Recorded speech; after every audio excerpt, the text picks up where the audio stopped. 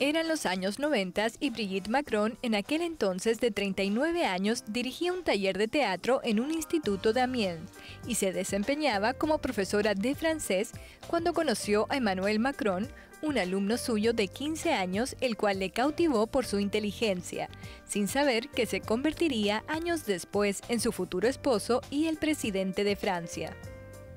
Lo cierto es que Brigitte, luego de 32 años de matrimonio, se divorció y un año después, en 2007, cuando ella tenía 53 y Macron 29 años, se casaron sumamente enamorados. Cuando leo cosas sobre nuestra pareja, siempre tengo la impresión de leer la historia de otra persona. Sin embargo, nuestra historia es tan simple.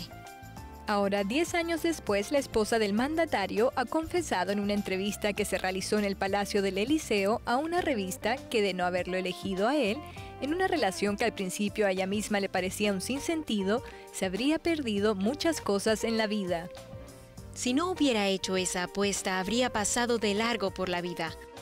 Con Emmanuel estoy tan acostumbrada a que me ocurran cosas extraordinarias que siempre me pregunto cuál va a ser la próxima aventura, y esto desde hace 20 años. A su vez, a través de sus declaraciones, ha hecho un repaso a su vida y al papel que espera tener como primera dama. Lo importante es que todo esté muy claro. Como todas las que me han precedido, asumiré mi papel público, pero los franceses ahora sabrán de qué medios dispongo.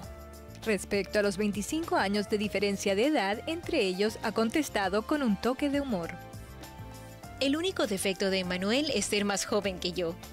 La primera dama de Francia también se muestra convencida de que el siglo XXI será femenino, que serán las mujeres las que puedan tal vez encontrar una salida a este mundo. La hora, hora, el momento que más disfrutas del día. ¿Quieres más de Hola TV?